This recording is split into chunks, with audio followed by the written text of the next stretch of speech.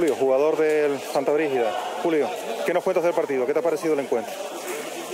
Eh, nos planteaba un partido difícil que tenemos que salir por todas, porque si no ya los de arriba están ganando y llevamos un par de partidos que no, que no terminamos de meterle.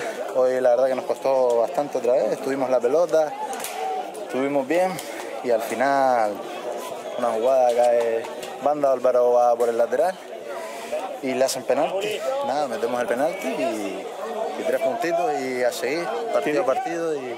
¿Qué indicaciones te dio el, el eh, en la salida al campo? Que tirar a diagonales hacia adentro para dejarle camino a Alejandro que estaba, estaba bien por el lateral.